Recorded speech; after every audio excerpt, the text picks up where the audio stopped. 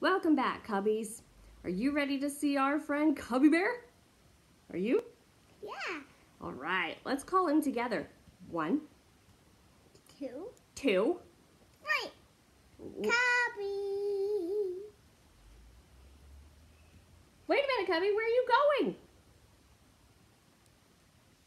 I'm running away from the tractor. Uh, I don't see any tractors in here, do you? No. Oh, okay. Um, I was with Timothy and his friends at his birthday party. Right after we got off the train, I heard Timothy's dad coming in, the, the tractor, so I started running to hide in the trees. Cubby, why are you so afraid of tractors? They make loud noise. and scares me, and they have big, giant wheels. I'm afraid the tractor will start chasing after me. Cubby, you don't have to worry. Timothy's dad is a safe tractor driver, and he doesn't chase anyone with the tractor. And besides, you're with your friends. I'm sure Timothy and Katie Collie won't let the tractor hurt you. Okay. Ah, ah! Katie, we were just talking about you. You would protect Cubby from the tractor, wouldn't you? Yeah. I would. I. I'll keep everyone on the farm safe. Timothy, Dad, I'm the best dog around. Oh, you're a good watchdog, Katie. Are the are the friends getting along any better at Timothy's birthday party? I heard they were having trouble being kind. Oh, the friends weren't getting along. Just a minute ago, Timothy wanted everyone to go on a hayride. The hayride. But when they saw Cubby running away, they decided to follow him instead. They're on their way over here right now. They Mm. started to follow them with right now. Oh, that's too bad. I guess they'll miss out on the cake then. Yeah. I heard Grammy Lois had Timothy's birthday cake ready at the bakery. yeah. What cake? Yeah. Come on, Katie. We better go. We don't want to miss the cake. Wait, Cubby, what about the tractor? I thought you were trying to hide. Oh, well, I'm not so scared anymore. There's something about cake that makes all my fears go away. Cubby, why am I not surprised that food makes you feel better? You two enjoy the cake and we'll see you later. Bye bye. Come on, Katie. No. Not ours. What cake? Oh. I just thought I wanted apple cider. Let's get that too. Yeah. Bye, Cubbies. Use Katie to say bye bye. Bye-bye. Today, our friend Cubby Bear felt scared. What made him so afraid? Cubbies, what are some things that make you feel afraid? Maybe some bad dreams would make you scared, or a large animal, something like that. One time, God's people, the Israelites, felt afraid of a very big enemy. They forgot that God is in charge. They forgot God's promise that if the Israelites obeyed and trust in him, he would help them win against all their enemies. Young David would help them remember to trust God. Open your Bible to 1 Samuel 17. Here's a true story from God's Word. Remember, all the stories in the Bible really happened. You can believe them. One day, David's father Jesse said, David, take these ten loaves of bread and these ten cheeses and hurry to visit your brothers in the army.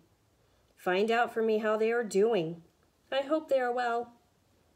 Early the next morning, David left his sheep with another shepherd, packed the food, and set off to see his three oldest brothers who were fighting in the Israelite army. Is that better? Now there's a shadow. Okay. When David arrived at the army camp, the Israelites were lining up to meet their enemy. The Israelites stood on one hill, and their enemy, the Philistines, stood on the hill across from them. David left his pack of food with a guard and ran to see his brothers on the hill. As David talked with his brothers, an angry voice boomed. We'll see who this angry voice belongs to, huh? Israel, let's see how strong you are. Send a man to fight with me. The giant voice came from a giant man. This man here. His name was Goliath. He was a Philistine, and the Philistines were enemies of God and God's people. Goliath stood over nine feet tall. Can you imagine that? How tall are you? Maybe three feet, four feet, somewhere in between there. Nine feet tall. Our moms and dads, man, they are probably five feet. Evelyn's daddy's six foot three, and her mommy, me, I'm five foot two inches. So we're shorter than this man here. When the Israelites saw Goliath, they all ran away terrified. They forgot that God was in charge. They forgot to trust their mighty God and King who saved them from their enemies. But David did not forget. Who does this Philistine think he is? Does he really think he can beat the armies of the living God? I will fight Goliath, and God will help me, David told the Israelites and King Saul. You're too young, said King Saul. You don't know how to fight. I take care of my father's sheep. God helps me kill the bears and lions that attack the sheep. He will help me kill Goliath, David answered. Cubbies, what do you think will happen? Will the little shepherd boy David win against the giant warrior Goliath? Do you think yes or no? And why? Why do you think so? Open your Bible to Psalm 56 11. David played the harp and liked to write songs. Listen to these words from one of his songs In God I trust, I will not be afraid. What can man do to me? Psalm 56 11. David knew that God was stronger than any man, even a giant. David also believed God would fight for Israel as he promised. David went to a stream nearby and chose five smooth stones to put in his pouch. He held his sling in his hand and went to meet Goliath. When Goliath saw David, he was mad. He couldn't believe the Israelites would send such a young boy to fight him. Goliath said mean words to make fun of David. David told Goliath, First Samuel 17:45. Then David said to the Philistine, "You come to me with a sword, a spear, and a javelin, but I come to you in the name of the Lord of hosts, the God of the armies of Israel, whom you have taunted." David ran closer. He reached into his pouch. He pulled out a stone and whirled it in its sling, in his sling. Swoosh! He let the stone fly and it thumped Goliath right in the forehead. That angry giant fell face first into the dirt. Hooray! The Israelites hooted and hollered. They chased the rest of the Philistines and won the fight. Finally, they remembered God is in charge.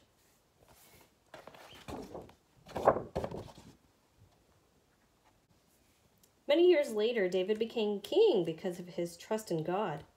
Cubbies, let's say David's verse again together. Psalm 56 11. In God I trust, I will not be afraid. What can man do to me? These days, God doesn't promise to fight all our enemies like he did for Israel. Instead, Jesus tells us to love our enemies and pray for those who hurt us. But God does promise that he is with us at all times. This is a promise God gives us in the Bible.